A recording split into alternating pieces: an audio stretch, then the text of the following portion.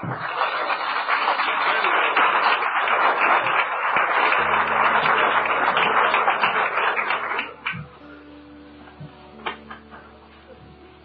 hope you still feel that way when we get through.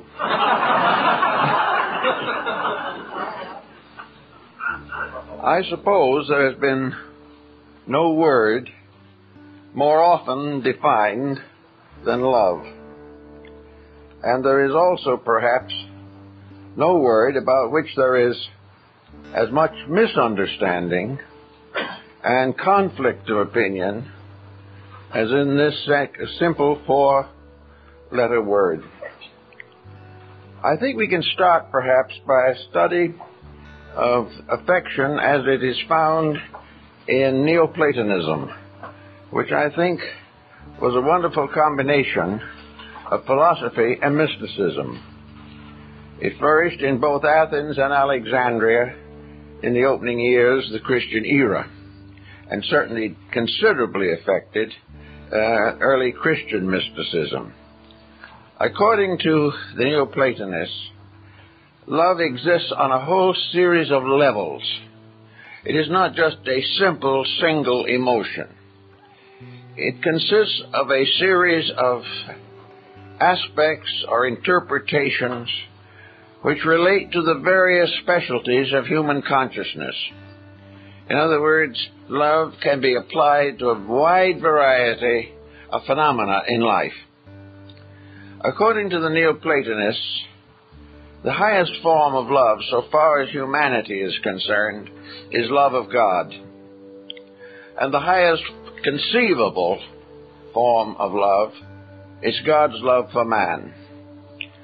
And this God's love is represented especially in the great sacrifice in which God gives his Son for the salvation of man. Therefore, whether it be in Christian or neo Christian philosophy, love is a divine quality by substance in its own highest and most essential nature.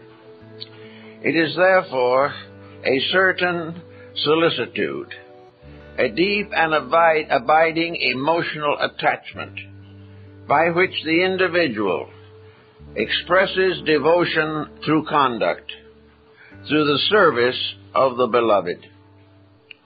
This was the foundation of both Platonic and Neoplatonic definition of love. And it passes through a whole series of modifications. Next to the love of God, where do we turn? The Neoplatonist said, the next love in importance is the love of truth. Truth becomes the most precious thing available to the human being on his own level of existence. Truth must be regarded as the thing or power that heals all wounds, that reveals to man fully and clearly the affection of God for him. Truth, therefore, represents a series of realities in existence which were placed there for the salvation of living things. To know the truth is to free oneself of the errors of ignorance. But again, truth is a very difficult word to define. That which is truth for one person may not be truth for another. And the underlying eternal and inevitable truth is still beyond the common acceptances of human beings to each person, truth is his way of looking at reality. And as this is true of countless persons, we do have a kind of definition for truth, namely that it is reality as seen through the sensory perceptions of the human being. And because human beings are different, not only in degrees of inward perceptions, but in their devotions and dedications to those values which they believe. Then we find a great chain of secondary circumstances and definitions which are important in the study of man's affections and the proper bestowal of them upon the realities and significant values of living. Among the Neoplatonists, perhaps the next uh, level of uh, truth or love was wisdom. And wisdom is primarily love of truth.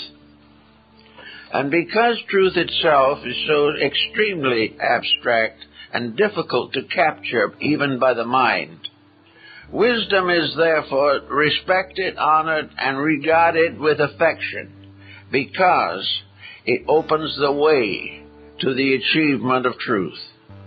Therefore, we should love wisdom. We should love all of the forms of knowledge by which we are inspired to search for ultimate truth. The search must continue, but we must also be grateful for the abilities we have to achieve the ends we seek. Therefore, gratitude is a form of love. Gratitude is the individual accepting graciously the good things that happen to him or the good deeds that are done on his behalf. And next, perhaps, in all of the uh, Neoplatonic thinking, we have love as a be- love of beauty. The beautiful surrounds us in life. And if we are properly integrated people, we, be, we find in beauty an object for affection. We love the beautiful. And while this love is an impersonal kind of love, we now come also to the realization that love can be impersonal. That love does not necessarily uh, have to have a personal object.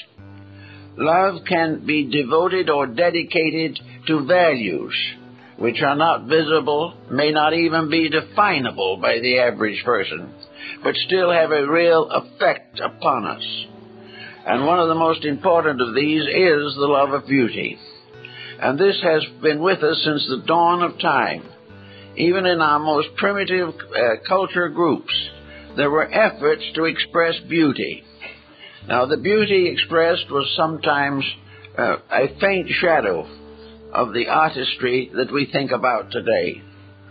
Man's primitive knowledge of beauty was very scanty. Yet to himself it meant something. It was an achievement. It was like a small child trying to draw a picture. The picture is meaningful to that child and represents the highest degree of its capacity at the moment, but may not have any influence or interest for other people. So love of beauty brings with it also love of all the arts as expressions and as testimonies and as inspirations up to conduct. We have music and painting and sculpturing.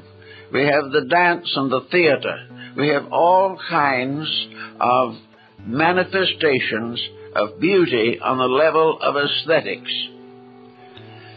Now, beauty on the level of aesthetics is something that comes against another problem in human nature, namely, that the average individual does not have a clear enough concept of value within himself to be able to support with his own uh, additional concern the various arts which are possible to him.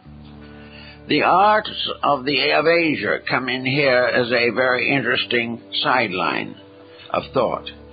The Chinese painters were tremendously ensouled or deeply inspired by a strange kind of love. And that was the love for the manifestation of the divine in all the creations which come through man himself. Natural love comes from the adoration of nature. Human love, very largely through man's appreciation of nature, as this is captured in painting and in etchings and in all the different forms by which we attempt to perpetuate our own evaluation of the beautiful around us. Another level of love, of course, is love of virtue.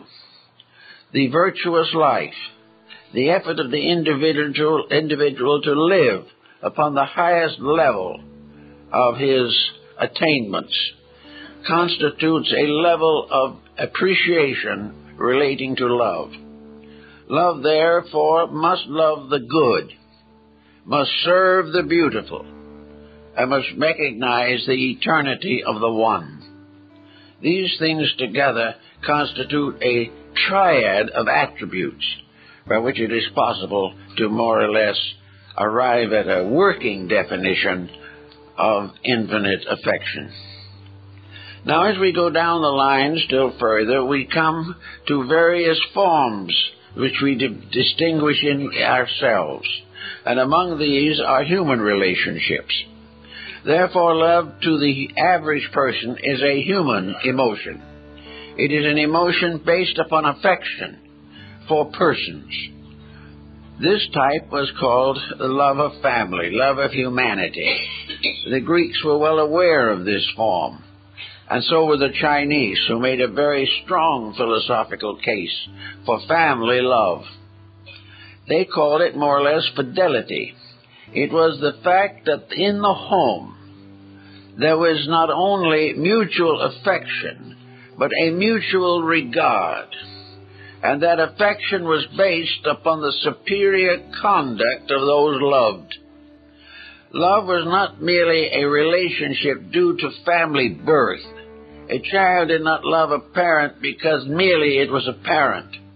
The child loved the parent because the parent was good, was kind, was understanding, and was in turn lovable. Therefore, personal love is based upon qualities which to each person appear to be lovable. Some find it in one way and some in another. But in the family life, love is essential to the survival of the home and is the basis of all human relationships in this world. We love that which is uh, worthy of love, worthy of affection. And unless we demand some level of worthiness, our affections become promiscuous and lose the value of moral support. So family love is love of parent for child, husband for wife, and vice versa, and parents for children, and children for parents. And of course, to a certain measure, this extends to the friend or the visitor within the family environment. All of this depends entirely for its integrity upon the fact that those loved are lovable. It is a very difficult and usually fruitless effort to love that which is not lovable. This doesn't mean we shouldn't try, but we should not expect the impossible. Unless we can really say that we find communion, unless there is some reasonable reason for our affection, we are not capable of definite love. If this is lacking, then we may depend upon respect or regard of a lesser nature, or even depend upon duty as remaining where personal feelings may have been hopelessly weakened. Therefore, some families are held together by duty alone. Some are held together by economic necessities. Some are held together by domination of one person over others. But unless beauty is present in its natural freedom, its natural sharing of all that is good, the home life is insecure. And if the home life is insecure, future generations are endangered. So love of family is very much involved in our relationships. Then, of course, the Greeks, like almost all other people, love said love of country, patriotism, or devotion to the system which we believe to be acceptable in government.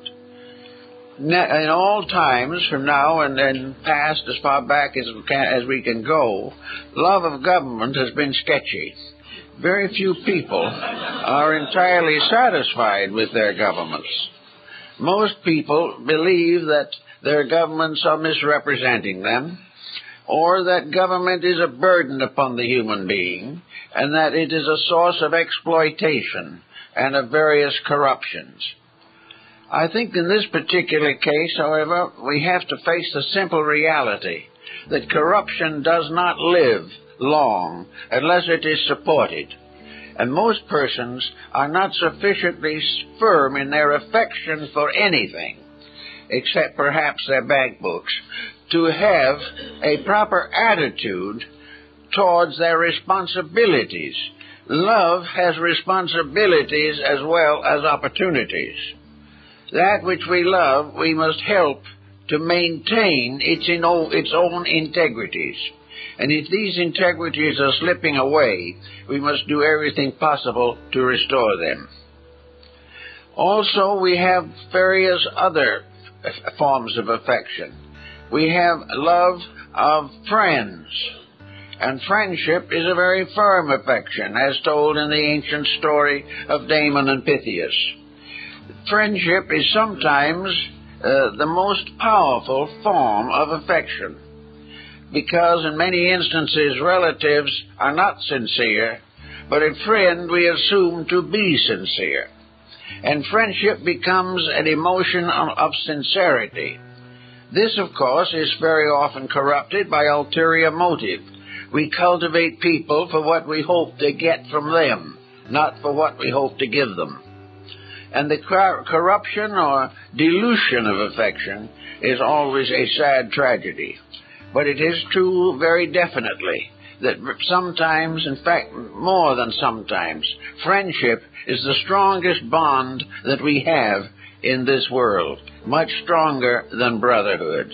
Because brotherhood very often represents relatives in a family who are not uh, true to each other or have no common ground in integrities. So we go down through all these different levels there are more than we can possibly list. Love of animals. This is quite important because in many instances, uh, these other creatures contribute very much to our own integrities. They provide us solace in times of emergency. They provide us means of advancing, uh, maintaining our farms and institutions, and they are very much present as an educational force in the life of children. So there is love of animals and the dedication not to injure uh, without cause any living thing. Now, this does not mean that we can always preserve them, but it means that we should have a natural affection and that our first regard of them should be that of friendship. Friendship with other kingdoms is quite a possibility. I remember very definitely a beautiful experience in the Kasuga Parks in, in Nara in Japan. In this temple, which is a Shinto sanctuary, uh, there are vast parks, and in these parks, the temple deers wander about in a condition of complete friendliness. They will come up alongside of you and walk with you. Uh, they will look up at you with those soulful eyes that nothing can resist, and uh, also hope with this touch of humanity that we're going to feed them something. Uh, I remember that uh, I had some uh, feed for them in my hand, and one of them came up behind me, put his head under my arm, under my jacket, and put his head up and looked at me. It was irresistible. Not only that, but in the, in the spirit of the thing, as soon as I gave him the little morsels, he bowed to me. He bowed appreciation. He had been well tutored in knowing when there was a likelihood of more food.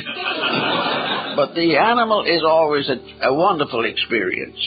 Therefore, love of animals comes very often from having pets when you were children and going up with a certain regard for life, a regard which is part of love and a very serious part of love. At the Sarusawa Pond, also in Nara, there is a little lake. A little, I guess it's an artificial one, but it's large enough to contain quite a few fish and so on. Uh, there is a ritual performed there quite frequently. Uh, children will go to a little store in the town and they'll buy a goldfish in a little glass bowl about the size of a drinking glass. Then the children, the family, and the priest probably will all go to down to the shore of the lake and we'll go through the ritual of releasing the goldfish. The child has saved his spending money to buy a goldfish for the purpose of releasing it. Now this is quite contrary to our thinking. We'd probably put it in a bowl and let it stand around a while until it went out of existence by natural causes. But to these people, the release of the living thing was much more important than keeping it in your own house. Make it not a prisoner, but liberate it. And the process of liberating birds and animals throughout Asia has been quite common in many parts of, the, of, the, of those continents. At the time of the special celebration in honor of President Grant, back in the middle of the last century, the celebration included the release of birds so that they could carry the glad tidings. And every type of living thing that is lovable should be loved. And if we cannot love them closely because of their natures, we can at least recognize a kinship with all that lives. And this is very important. Ernest Thompson Seton told me once an interesting story. Uh, while he was he was a great naturalist, as you know, and uh, one time when he was out uh, drawing and sketching, he saw a deer coming toward him, and the deer was running away from a hunter with a gun. And the deer was uncertain where to go, what to do. He evidently sensed danger. And then what he did was to run over to Seton and stand there beside him. The deer took refuge with the human being, and another human being was out to shoot the deer. This is life. But these types of things should be remembered always in judging our relationships with life in all of its aspects and attributes. We do not destroy for sport. We do not destroy for skill. And we try to preserve life as much as we can. And when it comes close to us, we try to serve it to the best of our ability. This is a distinct and solid form of love. It is far more valuable in the development of the human being than all the protestations of affection that are possible. Then there comes two forms of, of love which are particularly exemplified in Oriental philosophy. They are covered very largely in the New Testament also, but in slightly different words. In uh, Buddhism, the northern school, there are two deities, the Bodhisattva Kannon, or Kuan Yin, the goddess of mercy, and the world savior to come, the Buddha or Bodhisattva Maitreya. Now, these words are very interesting because they're names of something. And uh, Kannon is compassion.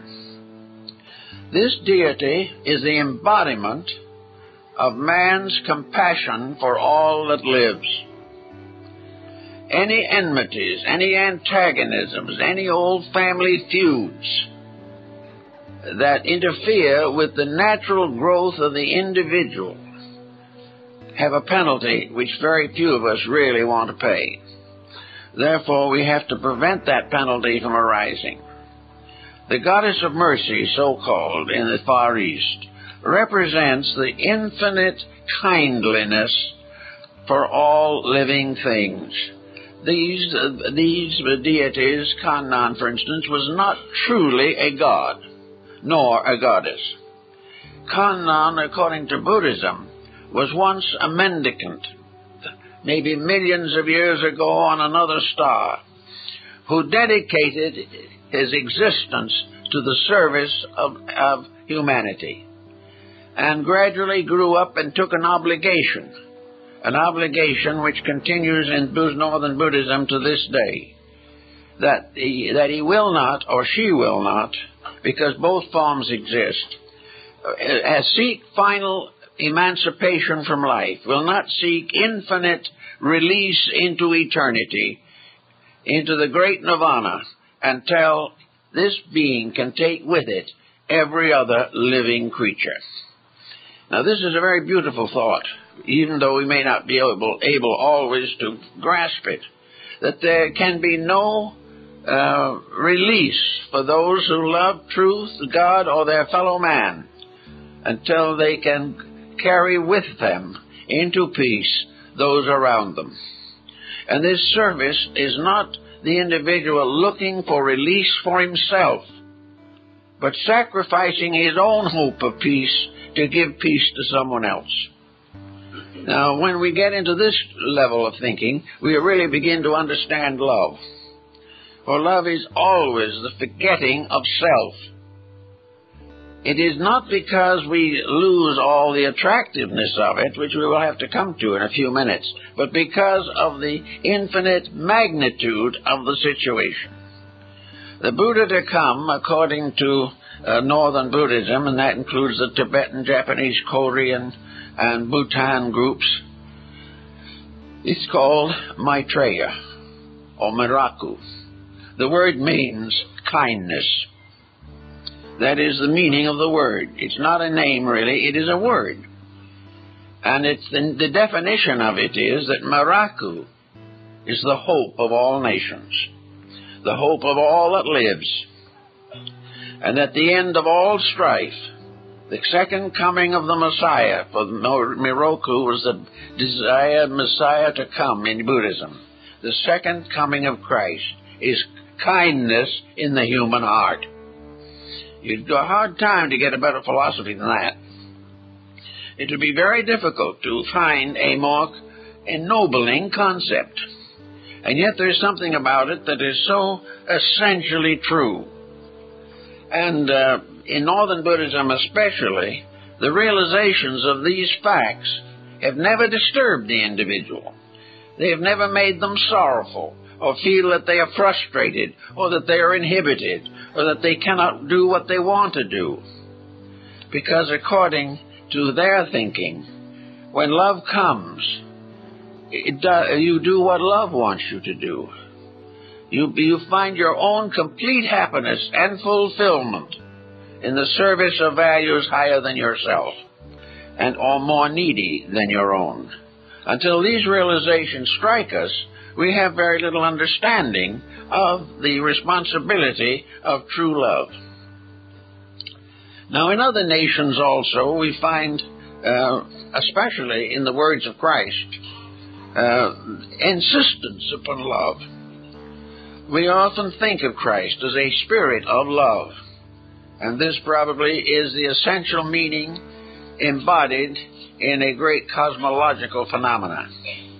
But the actual thing, as Paul says, Christ in you, the hope of glory. And among the words of Jesus, we remember the ones that goes to this way, uh, those who do not love their brother who they have seen. How can they love their God whom they have not seen? The idea that the individual can have a religious life without expressing creative and constructive affection is just wrong. Because there can be no religion apart from the practice of the virtues attributed to the sacred books as necessary. Paul says, and the greatest of these are faith, hope, and charity, now translated love. And the greatest of these is love. Now, the idea of placing affection as the standard of conduct will probably come as a much of a surprise to people. But in the great pattern of things, we all exist because of a love beyond our comprehension. We all live because of a beautiful world that was given to us. Wonderful opportunities. We bring other children into the world with the opportunity to love them, to help them to grow and to improve and to fulfill their destinies. Children are not ours to control or demand. They are ours to protect and serve and bring up to the point where they can be released constructively into society. We must do almost the same thing with the children that we do when we release the birds in the Japanese ceremony. We release all life to the fulfillment of itself, but we do all that we possibly can to make that life as rich and noble as it can be before it goes out on its own journey. All these things are values that are not difficult. They are not sad, horrible things. They are not the cause of atomic bombs and all this type of thing. The thing that is causing our trouble is that in some strange way we have mistaken the meaning of the word love. Perhaps one of the problems that we have is that self interest takes dominance over practically every other emotion in the lives of modern people. Each individual is protecting himself against those who, in one way or another, have despitefully used him. He is therefore inclined to try to return evil for evil. If someone is unkind, he feels justified in being unkind also. And on this policy, unkindness goes on forever. For there's never a time when we will not have some aspect of it, unless, as individuals, we take a new viewpoint of our own lives. How can we, as individuals, therefore, uh, find out a better use of our own emotions? How can we recognize the true meaning of affection? Now we descend into what might be termed the secular level of, of uh, emotions. We no longer think just in terms of the divine plan. We think in terms of daily relationships, human love, personal love. This level is, according to both the Chinese and the early Christians, a perfectly noble level. Uh, love, in its truest sense, is always right. It is always virtuous. It is always ensouling and inspiring. Therefore, that the individual who wishes to find God should give up human affections is wrong because God is in those human affections and he must perfect his understanding there before he can go further. Therefore, love in the family, love in the home, personal affections for each other are very noble as long as we do not pervert them, as long as we do not misuse these emotions or compromise them or defile them in one way or another. The uh, actual answer to most domestic problems is, therefore, a clean love. And until we get that, the uh, human relationships will remain embittered and obscured. Now, love in family and home is something which makes things happy. Most of the peoples of other countries who have their own little philosophies of love are laughing people. We are the only ones, apparently, who find love a burden or the basis of something which uh, is too difficult for us to handle. Well, perhaps it's due to the complications of our way of life. We have become so bound up in transitory and impermanent values that we have lost the sense of directness. We are now constantly frustrated, worried, frightened, and uh, seeking in affection not an expression of service, but an escape from some physical restriction upon our own conduct. Therefore, it is uh, true that we have to work out the problem of human relationships on the level of an integrity. For people in all walks of life, uh, the foundation of love is law. In other words, the law as it is, the law of love, is the only basis upon which problems of human existence can be arbitrated. There is no way in which we can ever solve the human problem without love. There is no way also that we can love as long as we are selfish. As long as our own ulterior motives dominate our human relationships, as long as our love centers upon the gratification of our own desires at the expense of others, every time in which love loses its, its liberty, loses its freedom, uh, is a misfortune. But love free will never break a rule. Love free will never do that which is unrealistic or impure. Because love itself is the very essence of God's affection for mankind. Therefore, anything that is a corruption is no longer love. Every, anything that is dominated by ulterior motive is no longer pure affection. As long as self interest, selfishness, gratifications of appetites dominate affection, we will never have any real love. And as a result of the lack of this love, homes are breaking up every minute, and young people are almost afraid to establish them. Then we look out into the great pattern of the world nations out to destroy each other. For why?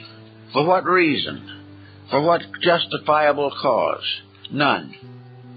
The hatreds which we have nursed for generations simply corrupt and corrode our own lives.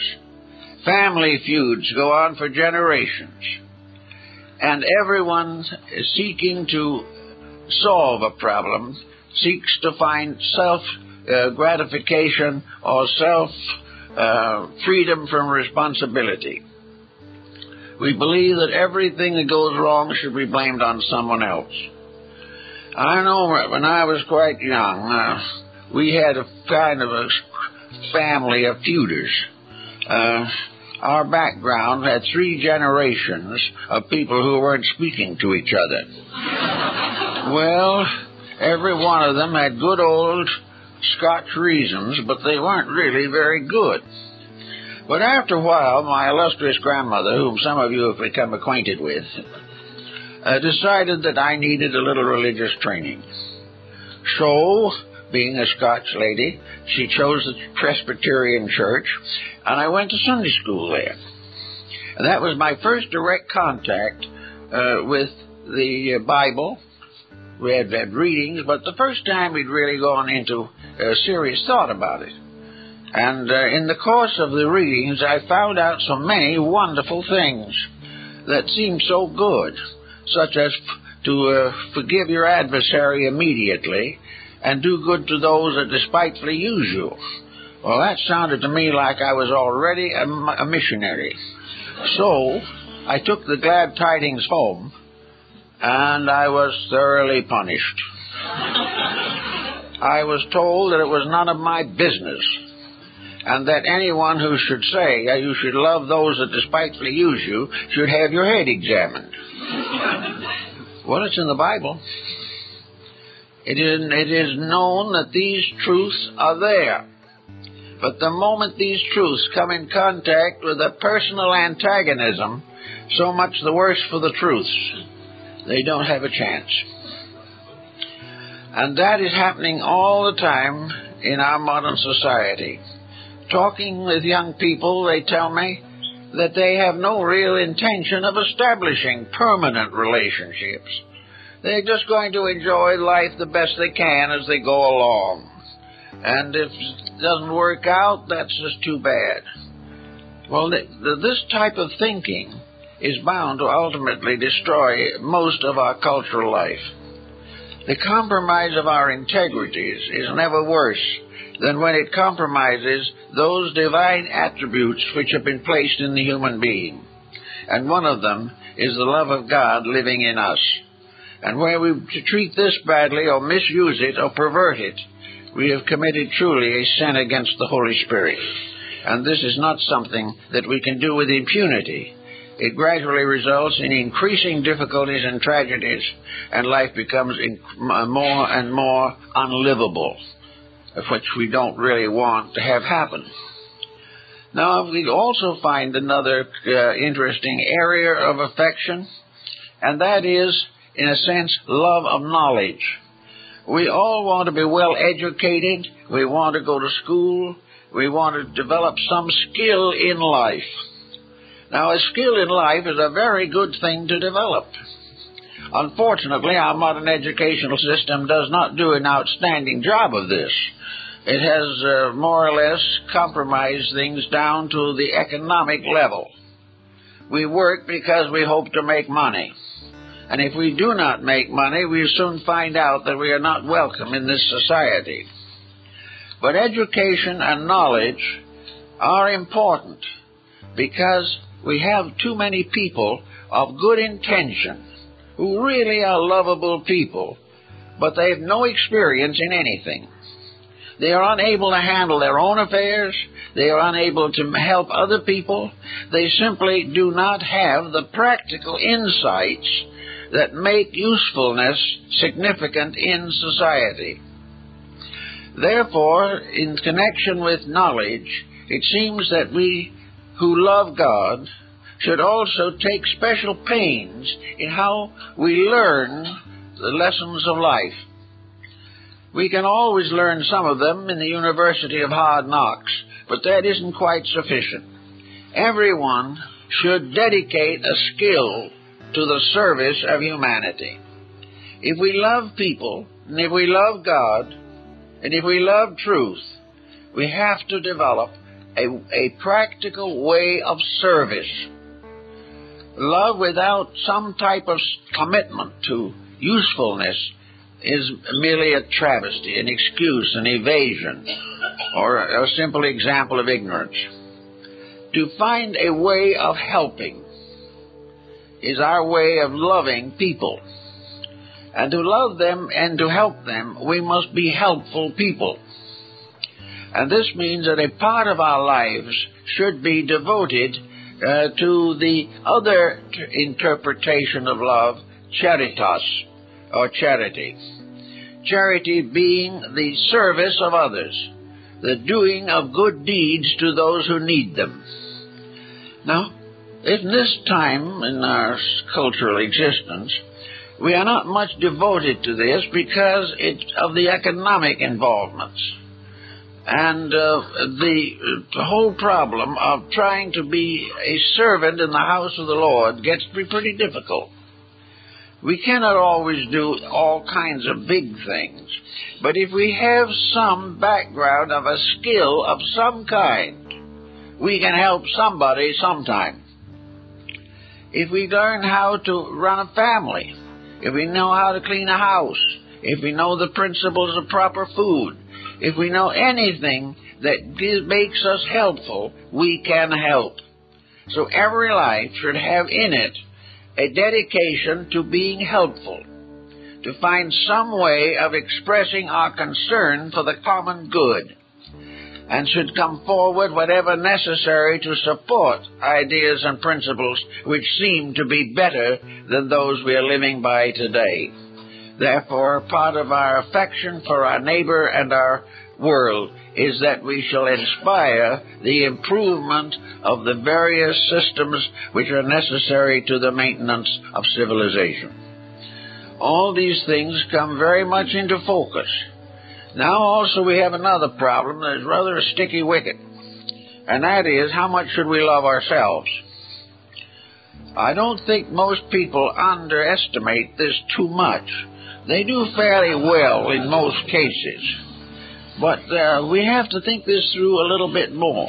Sometimes we, we, we ridicule the idea of anyone thinking about themselves or loving themselves. But actually, if we get onto the proper level, it's just part of the same picture. There's no reason why we should love other people and leave ourselves out.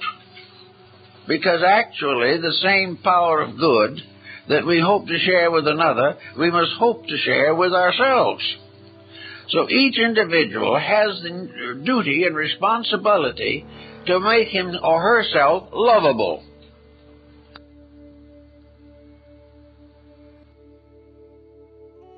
If, however, the individual includes himself with humanity, he then has certain rights also. He has certain privileges and certain obligations which he must meet in order to get along with himself constructively. each person examining his own nature and his own temperament should come to the conclusion that he is worthwhile, or if he isn't, that it's time to become that way. If the person should be able to look into his own life and be satisfied that he has done a reasonable job with it. He should not run away. He should not corrupt his body through all kinds of uh, dissipations. He should not have attitudes that are obviously unreasonable. He should not cater entirely to the selfishness of gain, exploitation, or profit. Nor should he put his own happiness above all other happiness. These things are mistakes. But the proper attitude is that we should be happy along with others who are happy.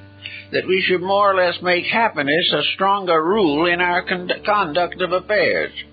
We all have a right uh, to be considered significant to some degree. And the better we become, the more thoughtful, wise, intelligent, and kindly we are, the more we have a right to feel that we are of some interest and value to the world in which we live. Therefore, it is not a mistake for the individual to have certain affection for his own inner life, but he should have affection for that part of himself uh, which Emerson calls the oversoul. He should, he should have reverence and regard for the eternal dwelling in him. And he should be a true and faithful servant of the will of his own soul. It, when this happens, then he is qualified to take a serious interest and have a deep respect for his own nature. Because actually, his own nature, in a sense, is an illusion. The fact that the individual is a living creature by himself is a, is a more or less of an illusion. We are alive because life is. We are alive because we are in a universe which is filled with life, and that is one life, one tremendous energy, and that life is truly the life of God. Therefore, the God in us must become part of our daily experience. We must live always as though the special guest of heaven was going to be at our table. We must never do things which heaven would not want to see, because as surely as we live, the heaven in us does see. We should try desperately to please that which is better, to please that which we know to be our true selves. For through the degree that we do this, our own lives are enriched and we become more useful in the advancement of society. Therefore, in education, we should have the skills that are given by sciences, arts, philosophies, religions, but we should ensoul these forms of knowledge with the inner consciousness and light of our own lives. Therefore, if we want to become scientists, we can dedicate science to the great scientist in ourselves. Because finally, the great power of life has one of its attributes as science. Another is philosophy, another is art, as another in some other branch of learning. But all forms of learning, in the last analysis, are simply aspects of the one divine power. And that divine power flows through everything with skill dedicated to love. Every art and science is an expression of divine love. And if man perverts this, as in the development of nuclear weapons, for example, he is perverting a power and is transforming a love that is there into a fear or a hate or a scheme which he is trying to advance for his own purposes.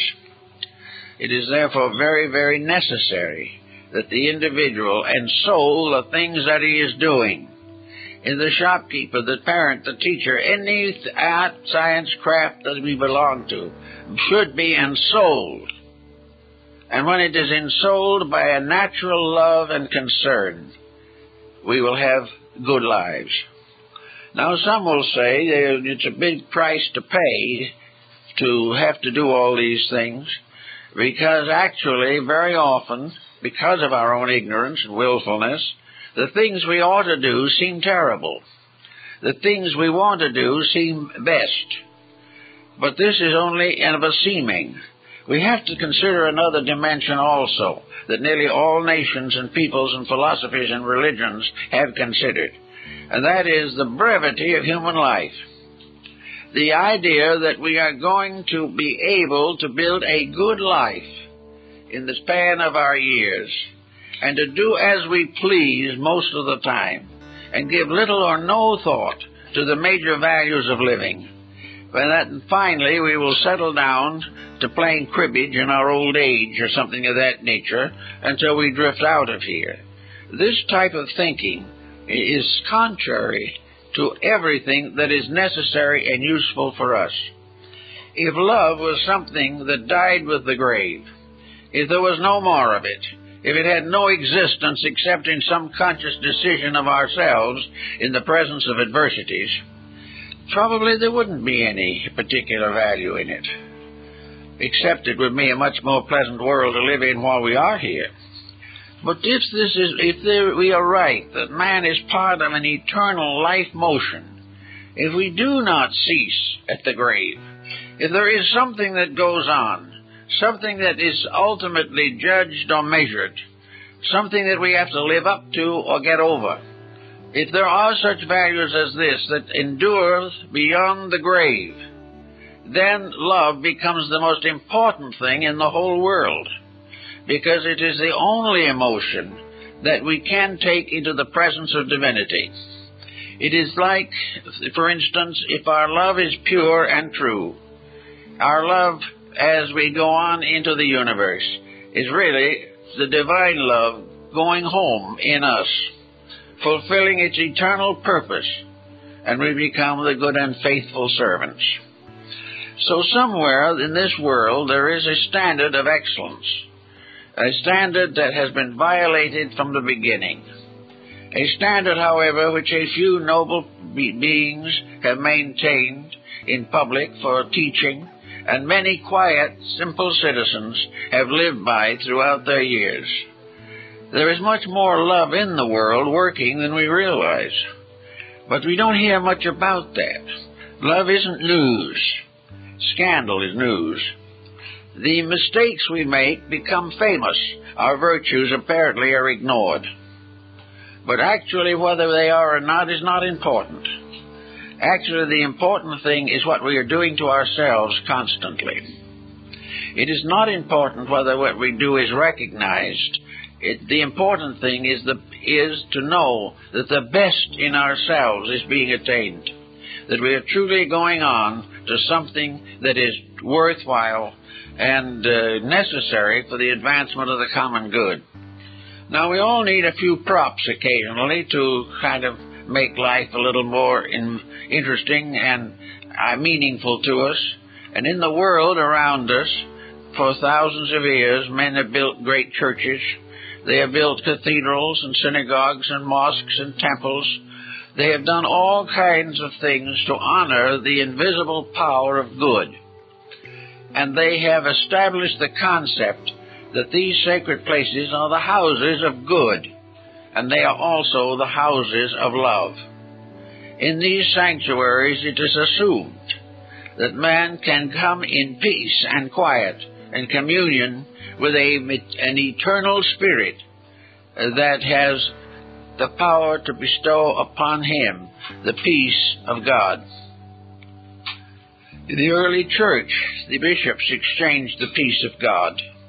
It was a representation of the inner fraternity of living things, the realities which we share and by which we become truly one family, one life in truth. Now, all these buildings have influenced people. They are visual representations of dedications of some kind. Many of these buildings were centuries in the building. Some of them probably were built without any great amount of enlightenment in the motives. Maybe they were simply built for uh, selfish purposes or for uh, to be a source of being remembered. But regardless of what they were in the beginning, We have come now to look upon them as great enduring symbols of the supremacy of the divine over the human. We therefore build these structures as beautifully as we can.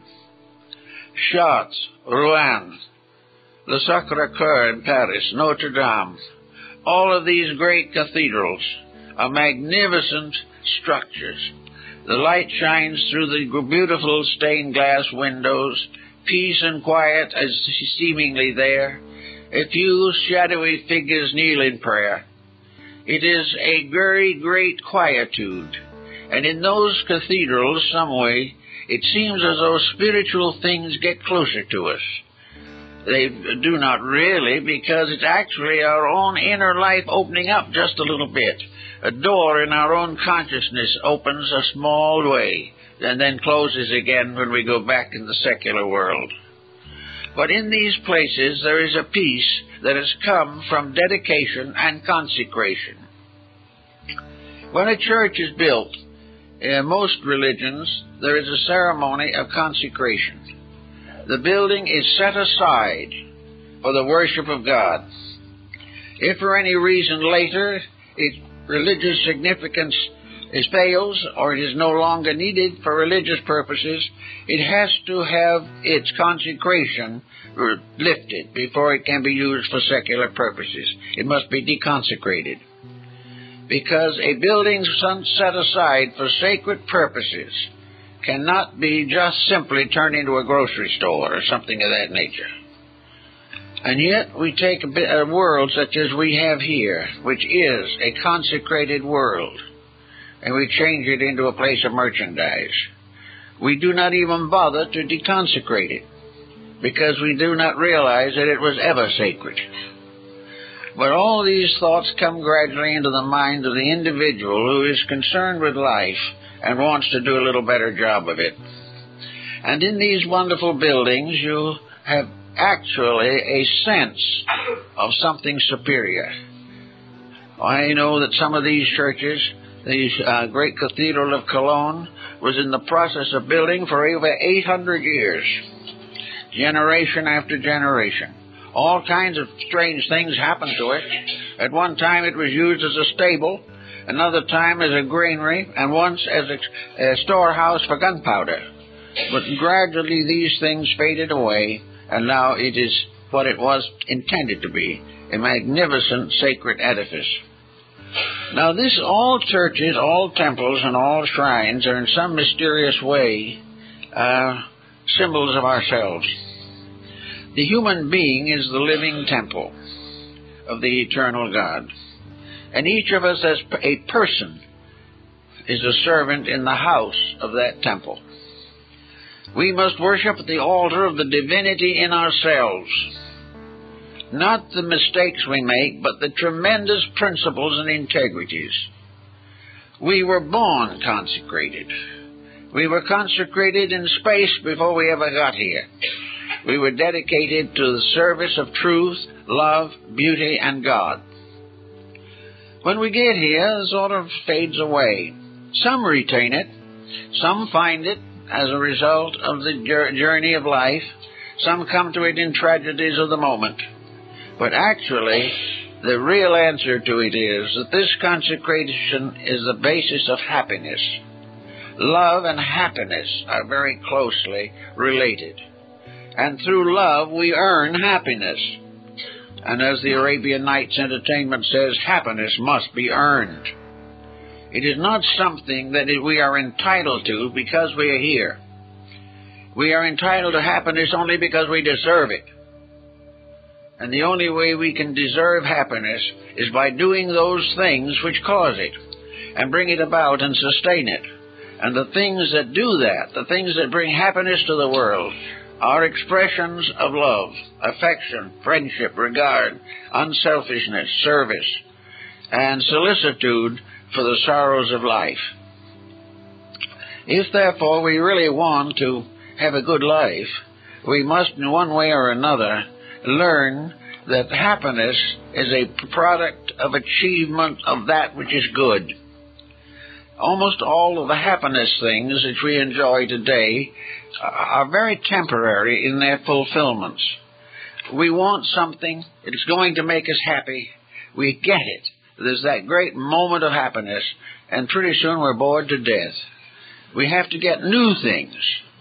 The, uh, the beautiful new car that made us so happy we could hardly stand it the day we got it is now generally referred to as the old wreck.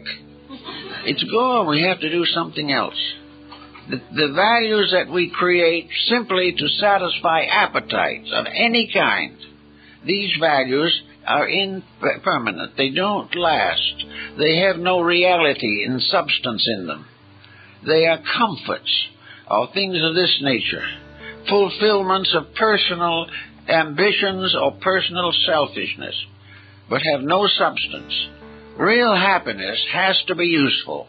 It has to come from a life well lived, not from a life devoted entirely to the desperate habit and habit of trying to escape responsibility. So in every way we go along the way, uh, we find that something that is uh, deeper has to come into uh, our experience. In our little squabbles in life, there has to be an element of love somewhere to bring peace. And sometimes uh, peace is quietude. Uh, our Zen brethren are greatly interested in peace, not because it makes them comfortable, but because peace is God's way. If to be in peace is to be in the universe as it really is. So the old Chinese painter makes the beautiful mountains and rivers and bridges, and down in the corner he puts a little man sitting under a tree and looking at it all. This is to a measure not simply walking out on civilization. It is a symbol of the individual quietly restoring himself because he is in an atmosphere that is real. We are all suffering from false atmospheres and false uh, dedications, and uh, therefore the monk goes out in the Zen tradition and sits under a tree somewhere and just sees things as they are. He also becomes aware of the comparative unimportance of himself. He sees that he is only a part of something so much bigger that he is hardly a gnat in the sunbeam. He is sitting quietly watching the universe move around him, and he is part of that universe. He comes and goes with the seasons. He sees beauty, he can protect it to some degree. He becomes infinitely aware of little things, and these are so often the basis of well being. A happiness does not always come from great achievements, but from little things. And most of the little things that bring happiness come to it come to us as love, as affection, as a kind of inner understanding, a wonderful sympathy with life. So to the uh, little monk sitting under the uh, tree in the Chinese painting, the sympathy with life is all important. The individual feels himself as part of something. And in feeling it, he feels more than this kinship. He feels something a little more important than that. He feels that this kinship uh, carries with it the rules of conduct. That this sympathy and, sin- and uh, kinship is a way of life in itself. A way of life that shares in the mystery of life everlasting. That it shares in the way of solution. That it is our only hope of individual security or world peace. Somewhere along the line, kindness must come into birth. And there's never been an absence of it. The seed of kindness is in the hearts and souls of everything that lives. It is part of our life. It is part of all the good that exists in the world. But we have to call it forth by some kind of magic, and that magic is love. Nothing else will bring it out of the deep caves where it has hidden itself against the sorrows, pressures, and glooms of the day. Now, in our particular moment now, where we're living now, we are probably under greater stress than most people have ever experienced in this life, and perhaps have never experienced in previous lives. This is an extremely critical period. It is a period in which there must be an awakening. This awakening has to come. Otherwise, there will be no solution uh, to the fact that man can become ever more dangerous to himself. The solution has to be, as the Buddha says, in the coming of the Maitreya Buddha, the coming of the spirit of kindness, the spirit of being gentle, the spirit of protecting life, uh, of finding ways to arbitrate difficulties and also to practice the great virtues of unselfishness and modesty and humility that are part of our divine inheritance. Actually, the human being, because the human being is by nature divine, is an extremely simple creature. We like to think of the human being as terribly complicated. But, and we think of God as terribly complicated. But to the mystic, both God and man are very simple creatures. A deity has the simplicity of absolute perfection, the simplicity of living forever in love and truth. We don't have to think of God going to school. We don't have to think of all the different things we have to do to try to learn to be decent citizens as necessary to the archangels. We assume that these beings, in the simple goodness of things, as Aquinas has pointed out, that actual goodness, true goodness, is an open door to the infinity of knowing. There is nothing that can be concealed from the good and nothing that can be revealed through the evil. Therefore, by the simple process of being good, simple people, we accomplish the destiny of the God within us. It is a simple relationship between that which is eternally quiet and the quietude that we seek every day. It is not a power like deity thundering out in the silences and pointing his finger accusingly at us. We point our fingers accusingly at each other and occasionally have pointed them in his direction. But actually, deity never works except through love. Every correction that we get is given beautifully if we'll accept it. Everything that we have to change can be changed beautifully because the law of existence is so organized that this can be occurred, can, can occur. There is no need at any time for violence or frustration or the individual to get angry at himself or curse heaven because things do not go well. Actually, they do not go well because the individual has no eh, acceptance of the importance of affections and sympathies in living. I know we uh, find in art a good deal of thought of this nature. The great artists of the past they were mostly self trained, had a little knowledge maybe of the palette from some predecessor, but for the most part, the, the beautiful things that we see came directly from themselves. Or they came through themselves, probably, would be a little more honorable way of describing it. Raphael, his magnificent paintings flowed through himself. And every human being is a potential Raphael. We think of scientists and philosophers and skilled people in all fields, and we uh, think that they are all individuals. Every skill in the world is a manifestation of the one divine skill that is at the source of existence.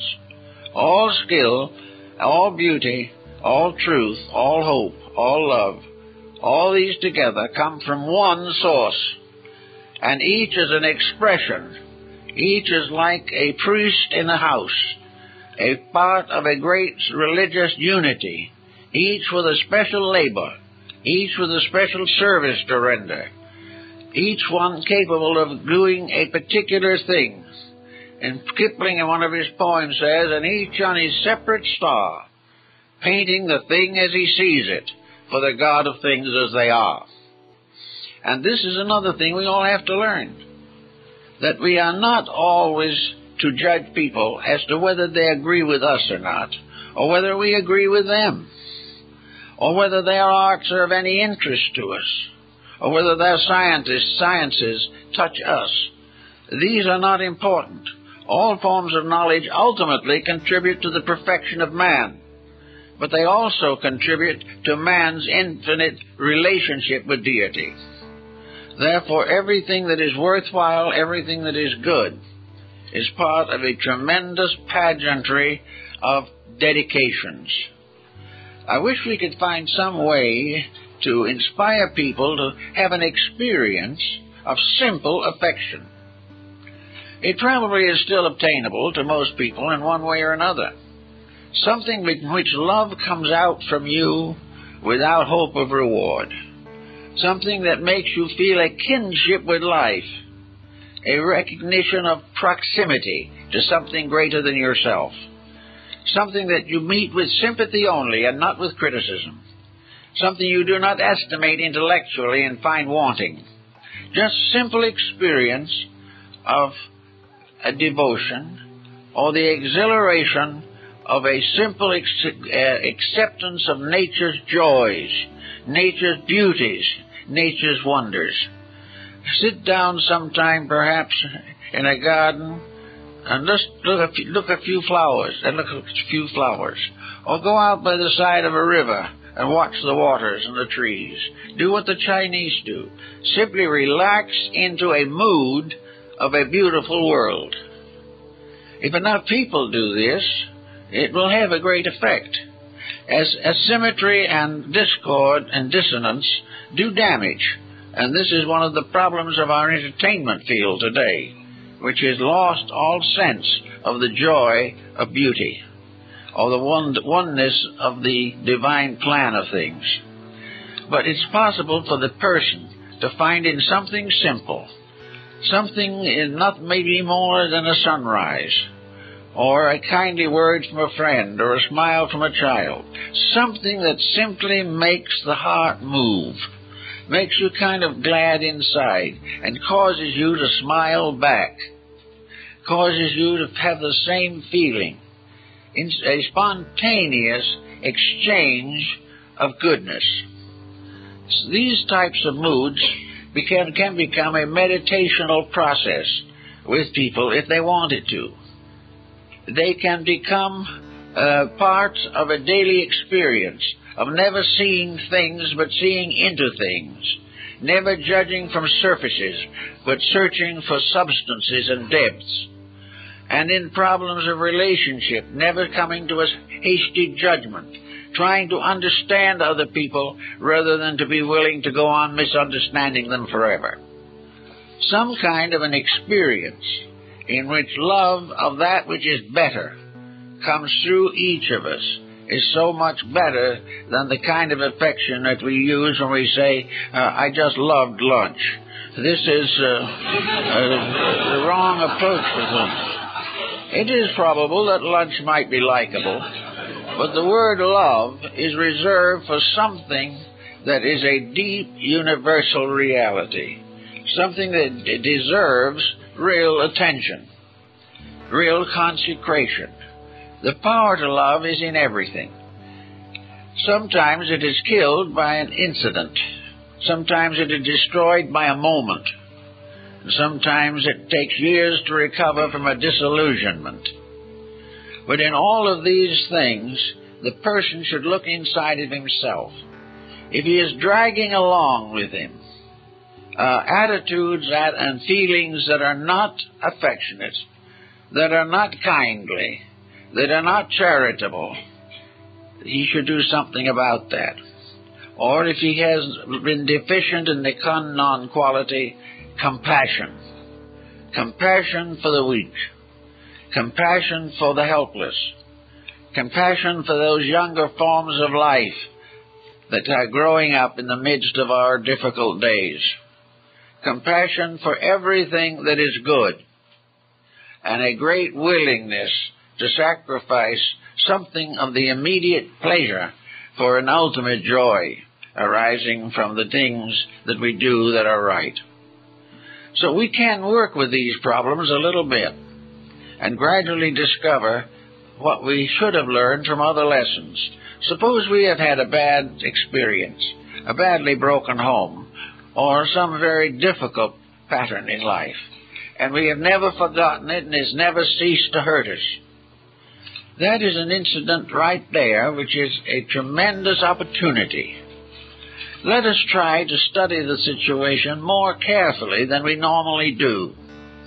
If the disaster hit, to what degree were each of those involved involved in the disaster? What did we all do that was wrong? Why did we not do this or that? And most of all, was this disaster the result of the failure of love? Was there ulterior motive in the love as we thought we expressed it?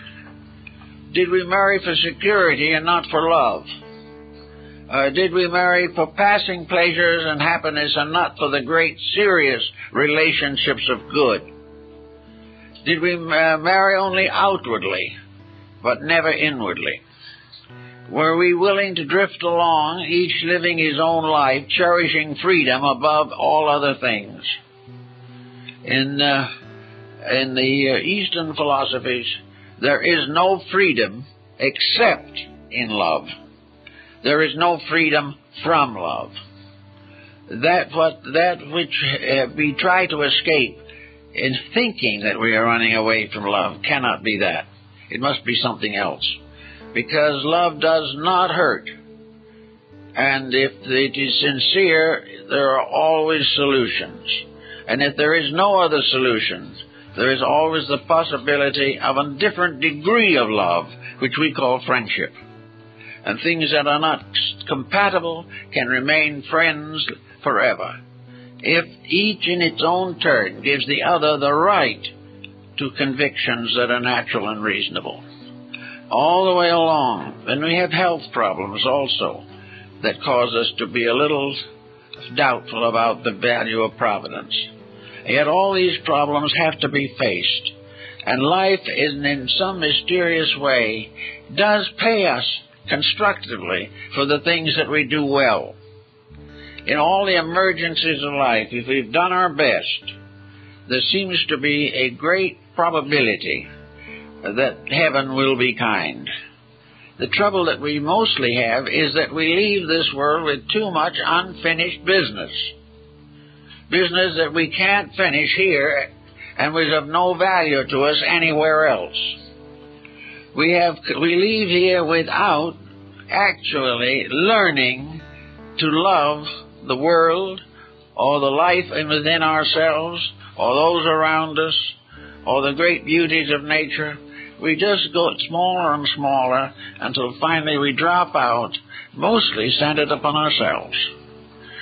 The individual so centered is, is missing everything. If we love ourselves, we will do those things which make the self good. If we love ourselves, we will be lovable people to all others. And where we try to simply develop an emotional satisfaction out of things that have no value, then we will have to face the consequences that these uh, emotions are disturbed, betrayed, or injured. Uh, wrong emotions have to be corrected. And every ulterior motive in emotional living is a mistake and must be paid for. Every time in which we use anything wrong, if we do not obey the divine plan of things in all that we do, there's going to be trouble. Whereas if we try to grow sincerely every day, we will find that most of the antagonisms and, and, and animosities that we have feared will fade away and not bother us anymore. So love is a, is a healing thing. Most of the miseries of the soul are due to the fact we have not learned to love that we have learned to hope that somebody is going to love us.